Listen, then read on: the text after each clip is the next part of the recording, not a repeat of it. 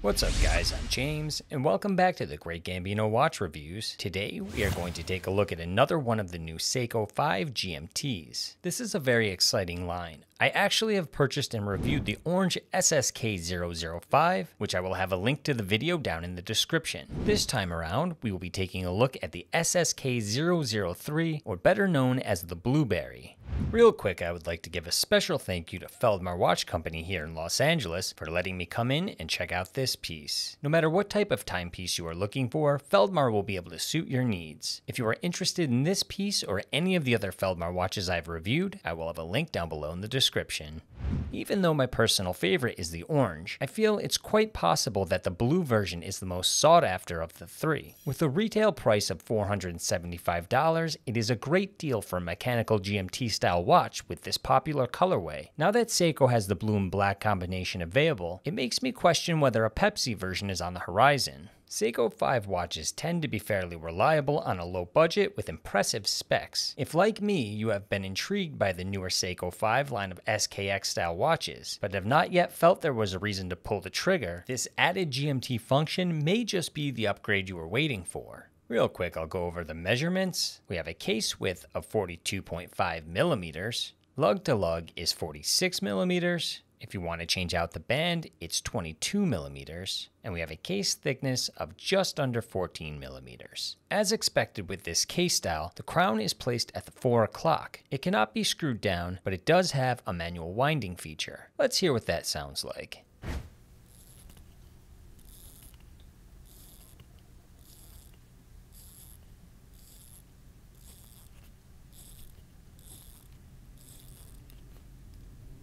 Bezel has a double row coined edge that is very familiar to anyone who has owned or handled an SKX model watch. However, the bezel insert feels very new and different. In my last video, I said the bezel is made completely out of Hardlex. Unfortunately, I was wrong. It actually is an aluminum bezel insert that has been capped with Hardlex, but it should still be pretty well protected nevertheless. In this shot, it appears to be all black, but the blue bottom portion is actually quite noticeable in most light conditions, and it has an overall metallic shimmer. This is a friction bezel, which means it is completely smooth in movement with no clicking. It is bidirectional and has a nice firm hold. The glass is a flat piece of Hardlex crystal. Hardlex is more scratch resistant than your typical mineral crystal, but not as good as sapphire. I have had plenty of watches with Hardlex and they have held up quite well. With this newer GMT model, Seiko has added a Cyclops eye at the 3 o'clock to give you a little magnification on the date, making it easier to read. When looking at the case, the top of the lugs are brushed and they blend into a thin chamfered edge connecting to the high polished side. There is a slight curve downward, and Seiko has added drilled lugs this time, so changing out the strap will be super easy. Tying into the bottom portion of the bezel, we have a metallic blue dial that appears to have a mild hint of a sunburst effect. This blends in nicely with the matte blue chapter ring. And for a pop of color, we have a glossy red GMT hand and small GMT print above the 6 o'clock. All of the indices are applied and accented with silver trim. The hour and minute hands have silver trim as well, and the second hand has a touch of black, tying it together with the upper portion of the bezel. Of course, we do have a date window at the 3 o'clock that is enhanced by the Cyclops eye we talked about earlier. The overall color of this dial, in combination with all of the other aesthetics, has enough to add fun throughout your daily wear without being overstated. When pulling the crown out to the first position, it allows you to change the date by turning counterclockwise.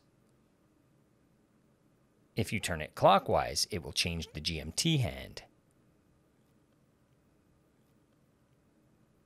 Pulling the crown out one more time to the furthest position will allow you to adjust your main hour and minute hand. Once the crown is pushed in all the way, you are free to wind and charge up the movement. Flipping around back, you have a display case that shows off the in-house Seiko 4R34 24 jewel movement. It has automatic and manual winding, it's hackable, vibrates at 21,600 beats per minute, and has a 41 hour power reserve. Of course, with the 4R34, we also have a GMT 24 hour hand complication. The Jubilee bracelet has a combination of brushed and polished links. The entire thing is solid and it tapers from 22mm to 18mm by the clasp. The sides are polished and you have four micro adjustment slots. When opening the branded flip lock latch, you will see the clasp is pressed. It's pretty standard to what you are used to getting with a lower end Seiko, but I am impressed that they upgraded to solid links. It's not going to be as hefty as something like a Strapcode bracelet, but it is still a much appreciated improvement.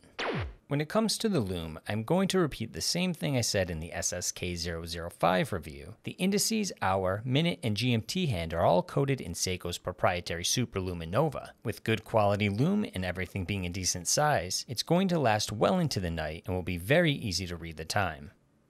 Here's a side-by-side -side shot next to an American quarter to give you a better representation of the scale.